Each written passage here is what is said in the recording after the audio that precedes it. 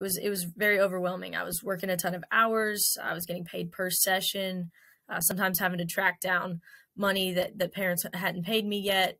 Um, and so it was just it was just draining, and you know it just became a hassle. So I I I got a full time job during the day, so that's kind of why my business was at a standstill. But ultimately, this is this is what I love to do. I seeked out Ben, um, and now that I've been working with Ben, my my my business actually feels like a business. Um, I'm very organized. Um, I have my finances laid out. It's a membership type of, of, of, environment now rather than a paper session. Everyone pays monthly.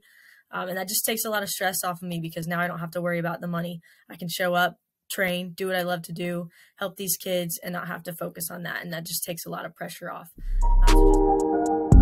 One of the biggest reasons why coaches fail in this industry is because what they say does not align with their actions. And I'm going to show you how I earned five clients in one day because one of my competitors did not live up to what he was telling his clients, right? And I have a lot of satisfaction telling the story. I see though that a lot of coaches they say things and then they don't back it up. So they might tell their clients, "Hey, we'll, we'll have our session tomorrow at five, and then they'll show up like a little bit late or they'll show up uh, maybe a little bit early and you know then they have to go back to their car and get something or or they forgot something they have to go home or they're just not mentally prepared to, to run the session. And back in 2015 2015 2016 i'll never forget this. I was out running a clinic and back then i would run clinics like I mean, pretty much almost every weekend. I would run clinics, and I'd have other coaches that were working for me. They would run clinics. We were running clinics uh, all over the place. And I was running the clinic, and I remember, like, right when we started, I, I looked over to the other side of the park, and I saw there were, like, there was, like, around five kids with their parents. And they were, like, just, like, it looked like they were waiting for someone. And uh, I remember just thinking, well, normally out on Saturdays, normally there was like nobody there at the park. Like, and I was always out there doing my thing, and I would never see any other trainers out there. So I was thinking, well, maybe they they're uh, gonna meet up with someone, and like we run our first half hour of the clinic, and I remember it was funny. I remember looking over and, and just the parents were just like staring at what we were doing because what we were doing, I mean, the kids were working really, really hard, and they could tell how professional the session was.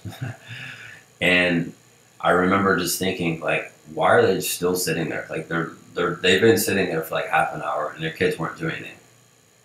And we were taking a water break, and one of the parents like ran over, started talking to me, and I was like, "Hey, I'm running this clinic right now. I can't talk to you for more than 10 seconds, but let me have your phone number and let me give you a call later today and I'll see how I can help. And that was it. So I got one parent's phone number and uh, he went back and I went back to finish my session and I did exactly what I told him I was going to do. I gave him a call later that day and what he told me was that was the fourth time in a row that they went out to the park where the trainer that they were supposed to work with did not show up. Like, he flat out did not show up four times in a row.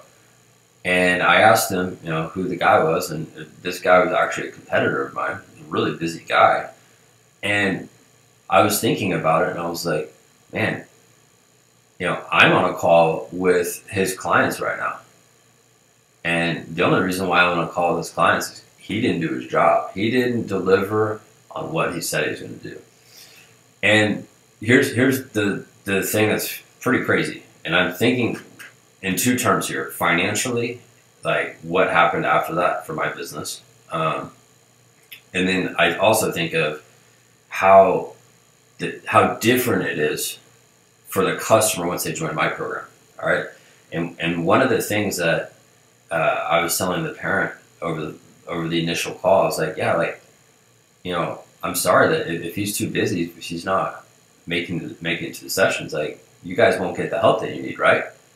And he was like, yes. And I was like, well, come to our next clinic.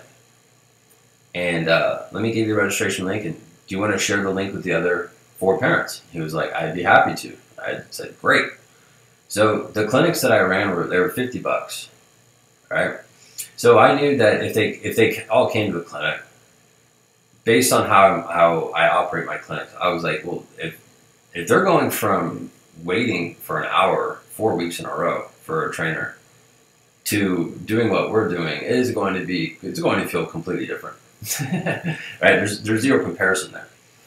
And though you take five times 50, that's $250 of earned income because this trainer did not show up, right? And so when they came, they, they all loved the session. And then I got on individual calls with those five parents and I sold them my program and I put them all in a group, right? Now, I had them sign up for a 12 month program, right? And I'm, I'm going to run the numbers here with you so you can see this. All right, there were five kids, and back then I was charging it was two fifty. I, I looked at their subscription; um, it was two fifty per month. So if you take two fifty times twelve, that's three thousand dollars. All right, so if I take two hundred fifty, all right, that's how much one parent's paying times twelve. That's three k. All right, three thousand dollars one client that's paying over the they're they're on a subscription, all right? Now we take three thousand times five clients. That's fifteen grand. All right, let me put that there for you so you can see it.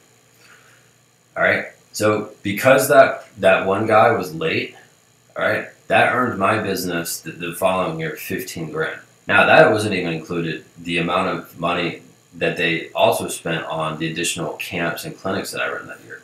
So 15 grand is, is on the low end, right? And again, because one person screwed up, he did not deliver on his word, I was rewarded because I was doing things the correct way.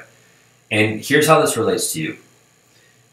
If you have a bad first impression with a prospect or a client, they are not going to stay with you if you are doing a good job and you have high expectations and you're just like you literally follow through with the things that you say you're going to do very well in this business right that was a $15000 per year mistake from that coach that he just gifted over to me right now those kids stayed in my program for four years all right so let me show you something all right that right there 60 grand is the minimum that I earned because those kids came to so many camps and clinics. Um, and they also, those families referred so many new families into our program over that period of time. So they became a loyal customer of mine because of someone else's mistake. So this is why I am very blunt about this. If you do a really good job in your business, you pick up other like you like coaches that are in your area, you pick up their clients when you do a really good job because they're not following through with their word. They don't show up on time. They're lazy. They don't care. And this is why I feel like it's really easy to succeed if you're just different, if you just do things better, right? And following through with your word is what separates you oftentimes from other coaches that are in your area that do a bad job, right? And that's where you can really capitalize, right? You did not hear me in this video say I stole this guy's clients. No, like they came to me. They they ran over to me in the middle of my clinic. Right? That was their doing. Right? I was smart. I just got his phone number and I said I'd call him and I did. Right? And that resulted in a lot of income in my business from somebody else's mistake. So why am I telling this? Well, it's because I don't want you to make the same mistake that that guy did. Because if you do, you're going to lose clients that could be committed to your program for multiple years. Right? And if you're the guy who's kind of like me, where it's like you're just trying to do a good job and you have a, a good service and you deliver on what you say, then you'll always pick up those types of clients that are being screwed over by coaches that that suck. Right? That's just that's just how it is. Right? I hope this video helps you, and I had to go deep into the story to clarify, you know, how committed these clients were to me once they uh, linked up with, in, in, my program. And again, it was just it was easy. It was like I just had them come to a clinic they liked it, and then I sold them more things that were beneficial to their kids. And guess what? when like when they signed up for our program, didn't miss one session with them. Always there early. That was something that they wanted. They they did not have that from the other coach. All right, so I just had to do the opposite. So I hope this helps. If these types of videos are helping you right now, it would be really good if you take the like 10 seconds and just send me a text message at this number and say, hey, Ben, I really like the content you're putting out. Or ask me any questions there via text. Um, and you can also message me on Instagram. Like I'm pretty active on Instagram. Uh, at this point, we post stories all the time uh, from coaches that we work with. I'm posting results, I'm posting content, I'm posting tips. There's a lot that we do on Instagram. And you can see my handle, I'll pop it up here on the screen. Uh, feel free, follow me there, connect with me there. Um, and if you want to connect with me personally, just shoot me a text. All right, that's it. Hope this video helped you, and uh, let's keep growing your business. I'll tell you from then until now, it's just night and day of, of how it's run and, and how I feel doing what I'm doing. And it's just opened a whole new window of opportunity of, of what I can see growth for my company. And I'm just really excited to continue. And I thank Ben for all that he's done. And I hope you guys find the same help that I've had. Thank you.